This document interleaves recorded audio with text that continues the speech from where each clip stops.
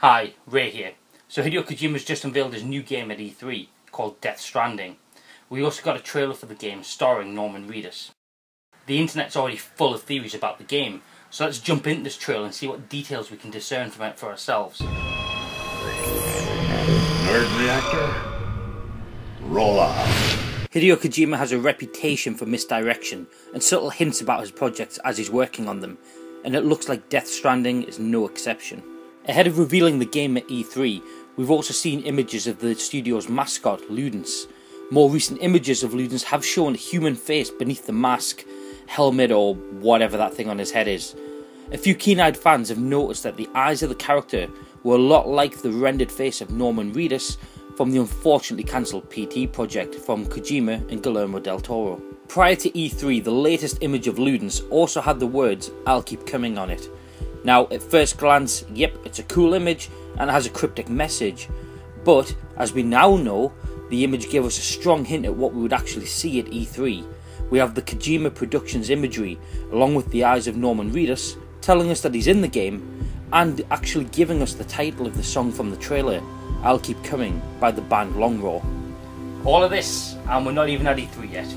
Okay, so fast forward to E3, and we actually got our first look at Death Stranding ahead of Kojima's Sony conference appearance. In an interview on the YouTube stage, Kojima was actually wearing a t shirt with the letters DS on it, and with the strand like effect on the font that was used on the font in the trailer that we eventually saw. After Sony's press conference, Kojima was interviewed on the YouTube stage again, this time openly about Death Stranding. During the interview, several key pieces of information were confirmed by Kojima himself.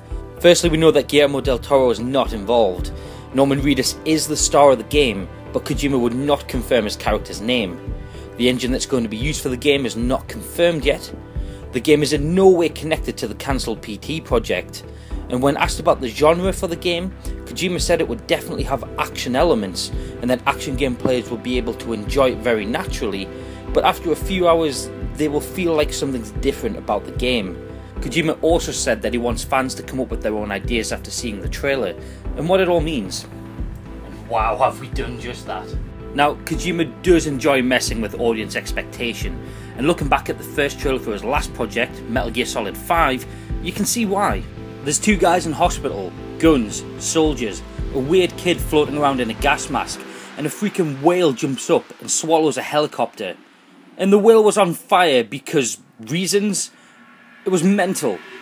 But the trailer was full of symbolism and gave crucial hints to what the game known as the Phantom Pain would be about. A game that later turned out to be Metal Gear Solid 5. So, with the internet trying to unravel the mysteries of this trailer, let's see what's been uncovered so far. Okay, let's get into the name first of all. Death Stranding doesn't make much sense. Or does it?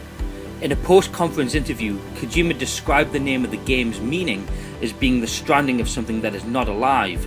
He also described it as something from some world that has become stranded.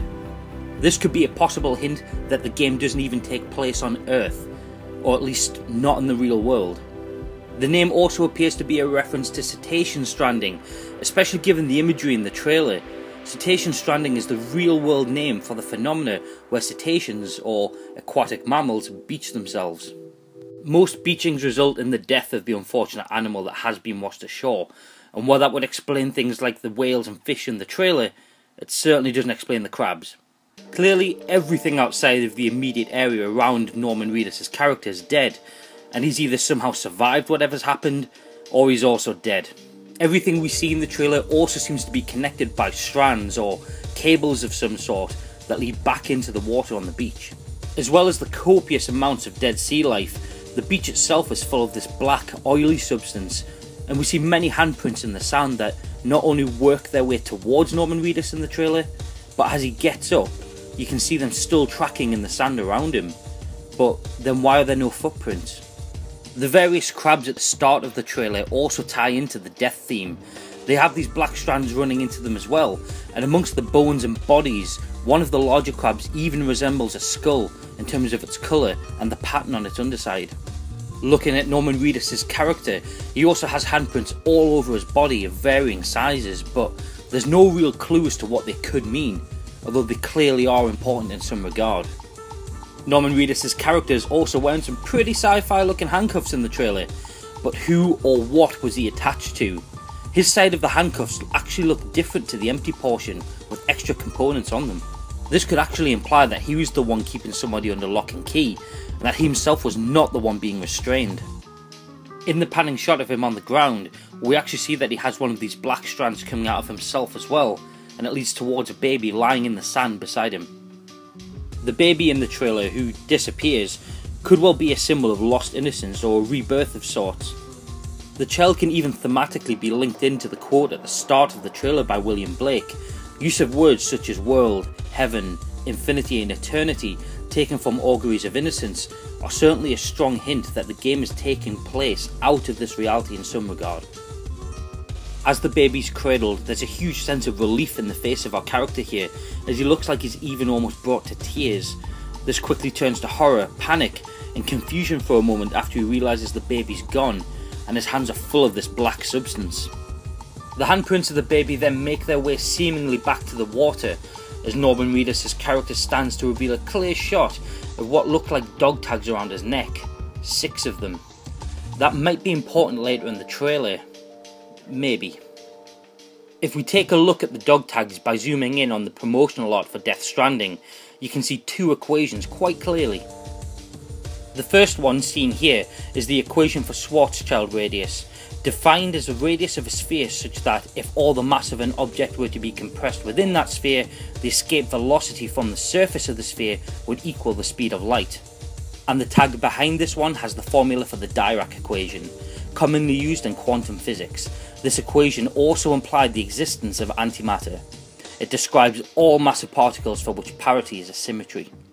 The appearance of these two formulae has many people convinced that the game takes place outside of reality as we know it, as the equations are linked to the study of black holes. In fact, a black hole is defined as any object whose radius is smaller than its Schwarzschild radius. Moving on from this in the trailer, we pan down to reveal the scarred torso of our character, very much quartered. Was something taken out or put inside of him? Also, where did his strand go? After surveying his surroundings, we hear an unnatural, distorted scream. The camera then switches position to show us the beach once more. From this new position, we can see our character's strand is definitely no longer connected, but we can see that all of the other ones are still there and leading back into the water. Either side of the shot, we have small splashes of colour in the form of fires burning either side of the beach scene. The colour red also shows up on Norman Reedus' half of his handcuffs, as well as on some of the crab's bodies found earlier in the trailer so it feels like this is giving us some kind of important visual clue. The most striking part of this final scene by far is the five figures in the air above the water. They're all humanoid silhouettes, and although they all appear to be still with arms at their sides, the middle one has a different pose, although it's hard to make out exactly what that is from such a distance. And remember those dog tags from earlier? Well, including Norman Reedus' character, there's now six humans that we can see on screen right now, and considering that he had six dog tags around his neck earlier, that's a little bit too much of a coincidence for a Kojima trailer. Are they linked? Could this be his former teammates or allies, perhaps turned antagonist? Or are they the ghosts of his former friends? We'll have to wait and see for more information, but it's definitely worth pointing out. The trailer ends with credits, including performance and facial capture by SIE Visual Arts Service Group, the same group that Kojima used while creating Metal Gear Solid 5 The Phantom Pain. Kojima Productions have also put a making of the trailer on their website since E3. It shows Norman Reedus going through the same process for facial capture that we saw Stefanie Joosten undergo to become quiet in Metal Gear Solid 5. Okay, so my brain's just about to melt, but that's a look at the trailer and what it could mean so far for Death Stranding in future. But what are your own thoughts and theories on the trailer? Have you thought of anything that was maybe missed out? I'd love to hear in the comments below what you think. Again, I'm Ray Guillan from Nerd Reactor, Thank you very much for watching.